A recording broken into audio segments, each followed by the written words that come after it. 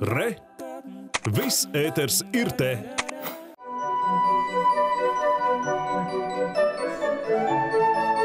Latvijas Rādio 3 klasika aizvadītā koncerta sezona bijusi spilgtiem notikumiem, pārsteigumiem un atklājumiem bagāta.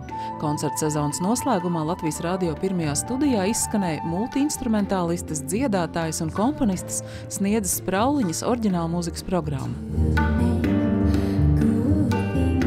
klasikas uzdevums ir uh, parādīt visdažādākā stila žanra mūziku, ko mēs arī darām, sākot no klasikas, no kremera teletonika, kas bija pavisam nesen, līdz uh, alternatīvai mūzikai šovakar, džeza mūzika. Esam izgājuši cauri vis, visdažādākajai emociju amplitūdai, arī mūzikas stilistiskajai amplitūdai.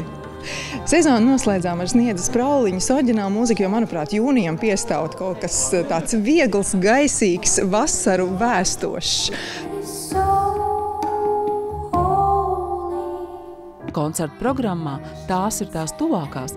Kopā ar Sniedzi Prauliņu piedalījās viņas dombiedri – ģitārists Andrejs Vasiljevs, pianists Edgars Tomševits, kontrabasists Staņislavs Judins, situma instrumentālists Matīs Akurāters un dziedātāja Rūta Olekša. Kopā uzburto kosmisko lidojumu dažādu tēlu pasaulē ieskanējās gan Knutas Kujnieka, gan Linarda Tauna, gan pat Marka Rotko teksti – bet pāri visam pašas sniedzas sprauliņas radītās mūzikas un dzējas pasauli. Tas uh, viss sākās, manuprāt, no skaistuma ideālu meklēšanas.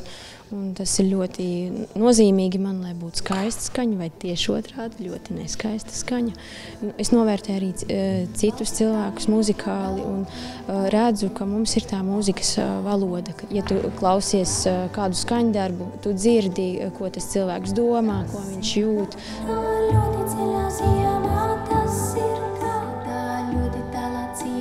Sniedzēja tā pasaule man šeit ir ļoti, ļoti, ļoti bagāta. Un tas pats galvenais, laikam, ir tas patiesums un vienkāršums. Patiesums, vienkāršums un, un viss, kas nāk no dvēseles, kaut kādiem dziļumiem un no iekšienes. Tas nav kaut kāds sadomāts ir vienkārši laikmetīga mūzika. Tas ir tas, kā skan 21. gadsimta, nu jau trešā desmitgade. Tas ir tas, kā sniedzas unikālā balss skan ar visiem iespējām, ko viņi ir sakausējuši savā unikālā instrumentā.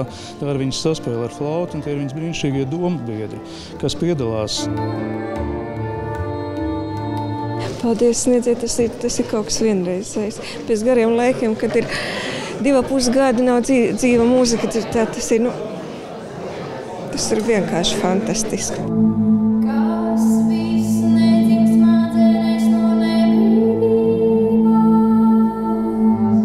Nākamā sezona Latvijas Rādio 3 klasika noteikti turpinās dažādu mūzikas stilu koncertu programmu ciklu Latvijas Rādio pirmajā studijā ar skatītāju klātbūtni.